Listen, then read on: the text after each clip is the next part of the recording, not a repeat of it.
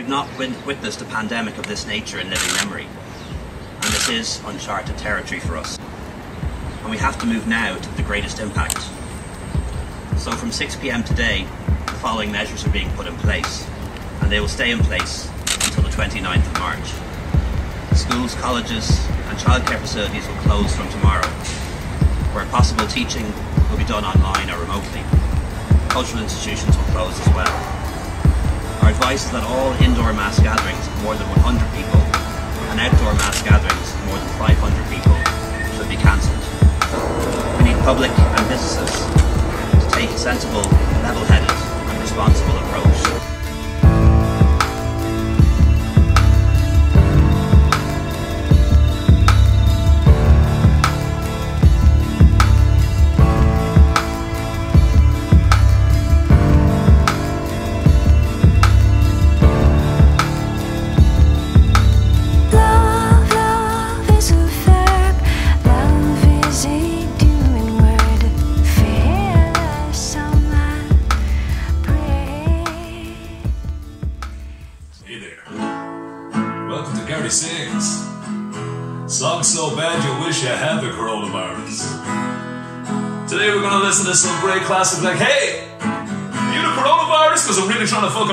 You. And of course my favorite, Hey Mary!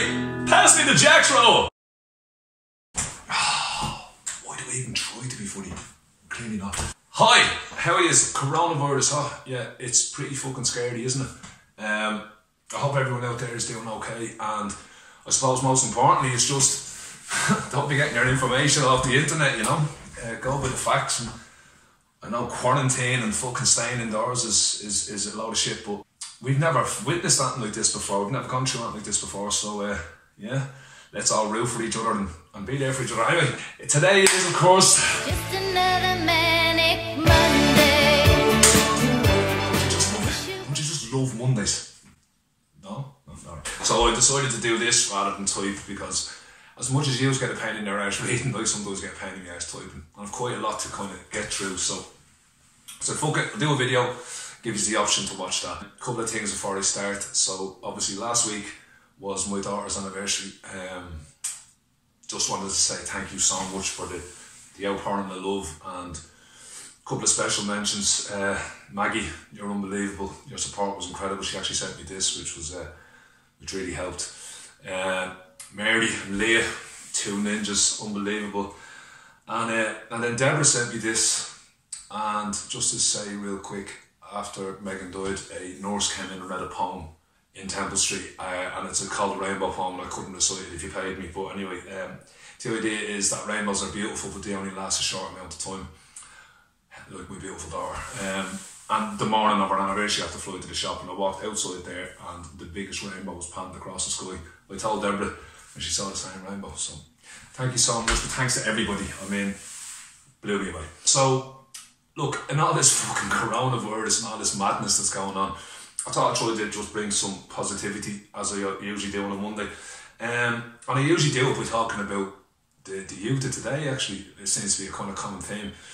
But yet again, I've got some absolutely incredible stories to tell you, and I just hope that every time I do this, I, I want to kind of thank the school and thank the students, and I hope that they read or see this or whatever, and they get the credit that they deserve. But I also, you know, I just really fucking believe in, in, in the youth of today, and I think they get a bit of a raw deal. They give themselves a raw deal, and they don't make it easy for themselves sometimes, but I've no problem telling them that, they've no problem listening to it. I, I just find that you know, I'm stunned nearly every time I walk into a school and you kind of give them a chance and yeah, they usually just run with it. It all started in this absolutely fantastic school in Kilbarrack, which is our school, the LaSalle. An amazing school.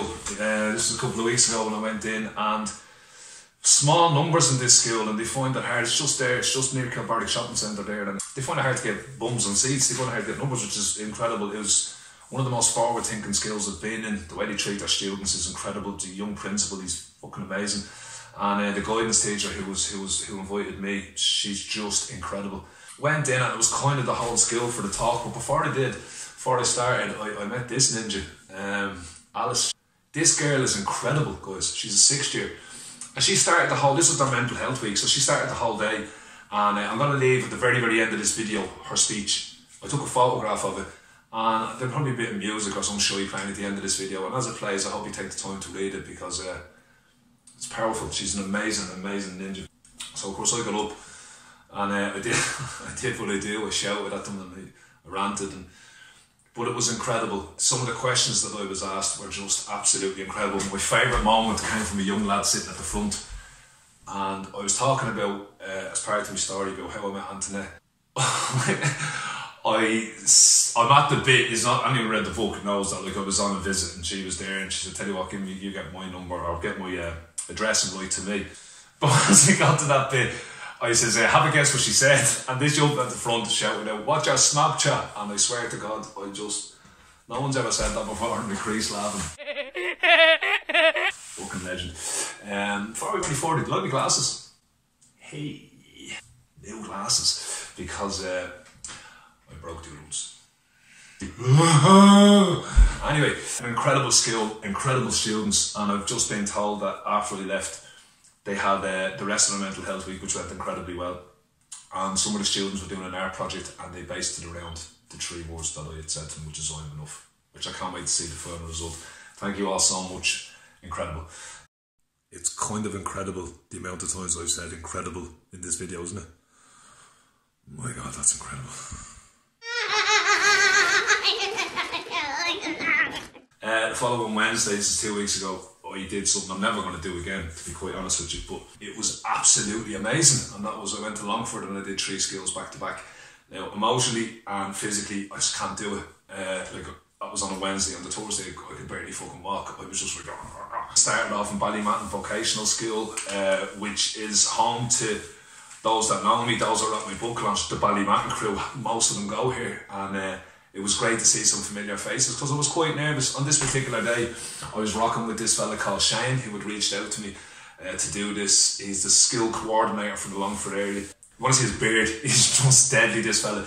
But then I kind of got the realization that he's going to be listening to me story three times, and it, it kind of put me off a little bit just from the welcome I got. I soon forgot that Shane was there and we ploughed through some really, really heavy stuff. We were in the hall, uh, I think it was fourth, fifth, and sixth years. Amazing, amazing students. Such a credit to, I always say, not just to the school, but to their families and to themselves. And again, thank you so much.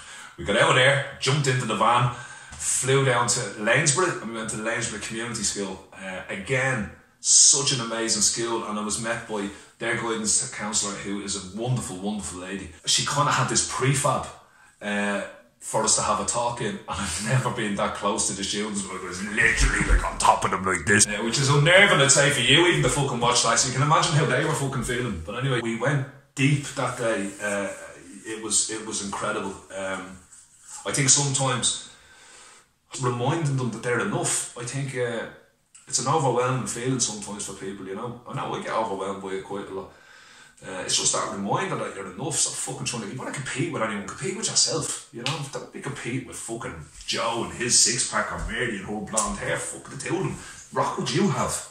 Anyway, announcement. They were amazing. Absolutely amazing. Really, really small room. Really, really fucking on top. But they were they were ninjas. They really went for it. And of course, Shane's in the corner with the beard. Flew out there, jumped into the van. He he uh, he actually brought me for my uh, for my lunch. Had a breakfast on the oh, oh, massive. So then to the last school, which was Temple Michael in Longford.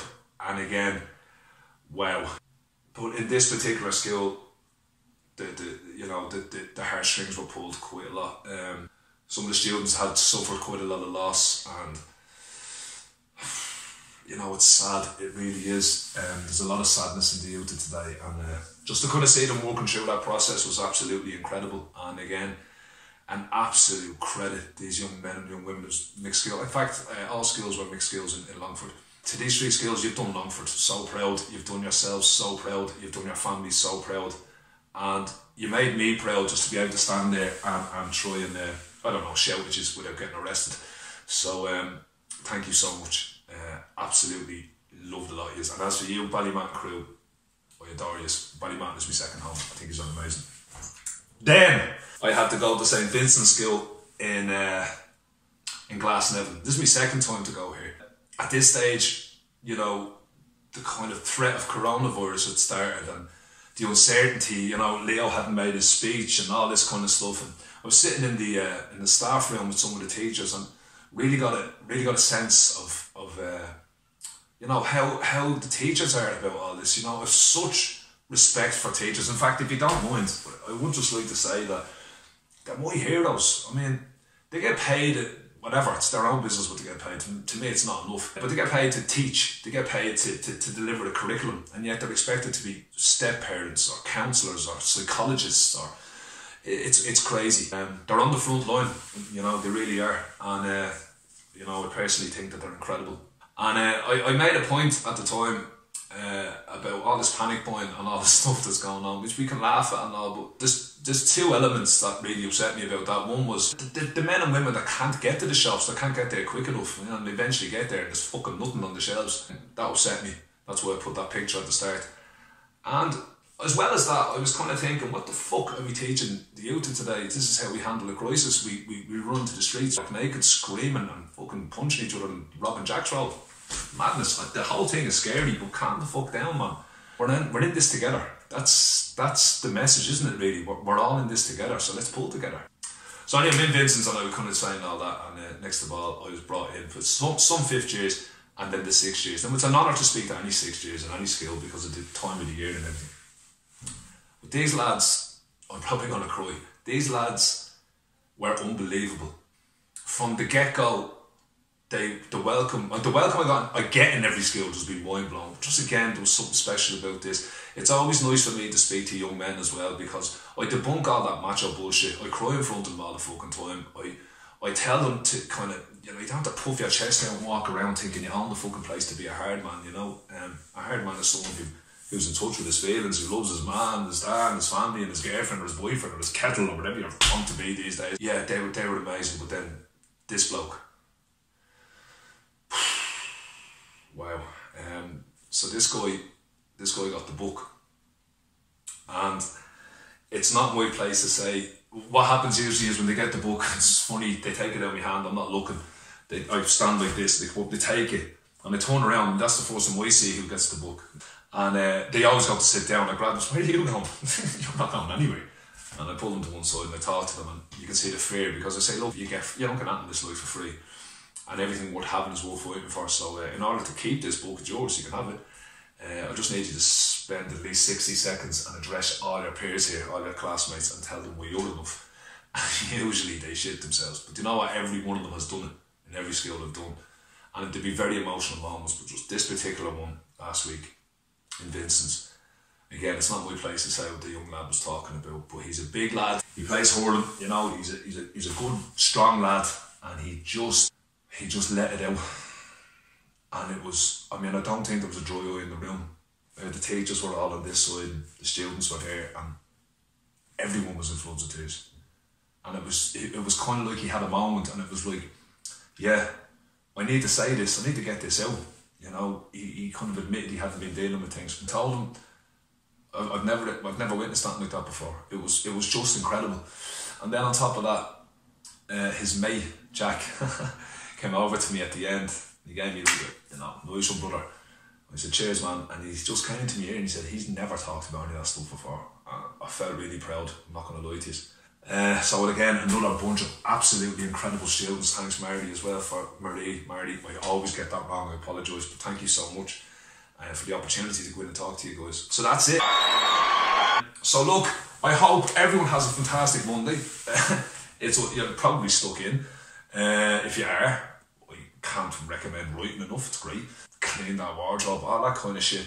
Uh, keep yourself busy, and I suppose just be mindful of those around us that are more vulnerable, uh, more vulnerable to this rotten disease. And you know what? Let's all pull together, man, because I think that's that's what's needed now. You know, we're a great little country, and we can come together. So let's come together. Let's fucking not keep emptying the shelves of Aldi. You know what I mean? It's crazy, man. I think every single solitary one of you are amazing. And kind of just to leave, I usually leave on my messages something about you. So how about this? We're living in a time of uncertainty at the moment. It's it's kind of scary. Uh, we don't really know what the fuck is going on. And you know, if you're one of them people that becomes overwhelmed with things, then this could be a really, really scary time for you. So I just first of all like to say that hit me up and hit me up. Did I actually just say hit me up?